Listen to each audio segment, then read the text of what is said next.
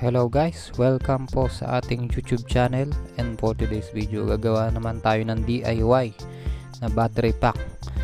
Uh, using 18650 na battery. Yan guys.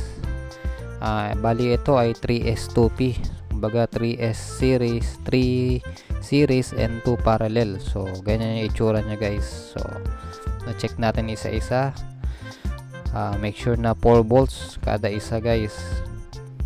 Then yan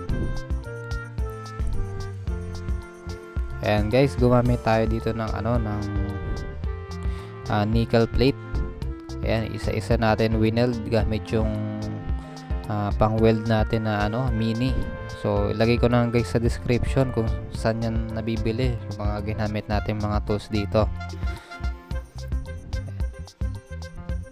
Ayan guys. Tapos gumamit din pala tayo ng plastic guys. So kung makikita nyo sa battery, meron siyang plastic para yung parang holder uh, para hiwa-hiwalay siya at maganda ang pagkakasaayos at maiwasan ng shortage. So ganyan lang siya guys kadali no? Bali ano to guys 12 volts tong inaano natin yung ina-assemble natin na to. Uh, uh, mamaya papakita ko sa inyo yung diagram. So ganito siya pag ganyan yung flow nya no? Negative positive yan tas pag ganun tas positive So pag tinester natin yan guys, yung kabila ang dulo, 12 volts. So okay na to guys. So next naman guys, yung BMS natin ng 20 ampere. So 20 ampere meaning hanggang 20 ampere yung kaya i-handle ng BMS natin.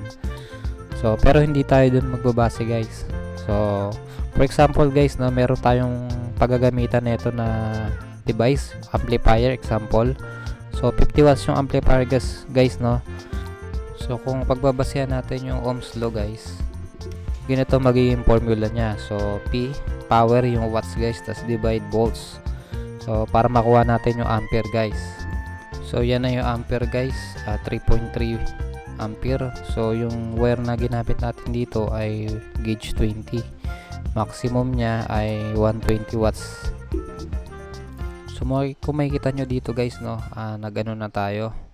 Uh, ibalutin natin yung battery para talagang kasi bawal dumikit guys yung BMS pag dumikit yan pwede mag cause ng shortage at uh, umusok or pwede pa masunog. So ingat ingat guys kailangan hindi didikit yung BMS doon sa mismong baterya natin. So ganito lang guys no. Uh, ito siya yung negative dito dito tayo umpisa tas yan puro positive na. Ito yung 4 volts. Tapos ayun yung 8 volts. Tapos yung 12 volts. So guys ganito lang yan no? Pumasok siya doon tapos dito sa ganito yung ano niya yung diagram niya no? So ganyan lang guys.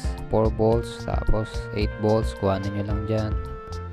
Tapos yung sa taas yung pinakadulo yung 12 volts So, yan. Ito yung output niya guys. Yung discharge and charge.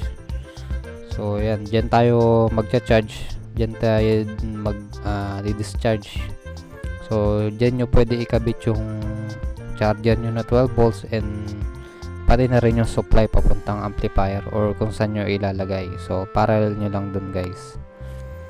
So, yan na guys, no? Naglagay ulit ako ng ano, no? Tapos, itong PVC na plastic i-heater natin yan. So uh, naubusan kasi ako guys nung pit sa kanya eh. So ganito na ang diskarte ginawa ko guys.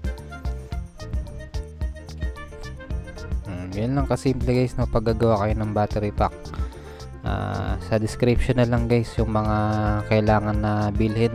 Uh, doon ko ilalagay yung link. Merong available sa Lazada and Shopee guys pero sa shop, sa Lazada ko kasi binili to guys. So, mas mura kasi doon.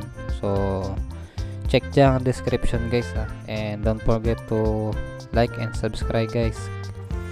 Thank you for watching.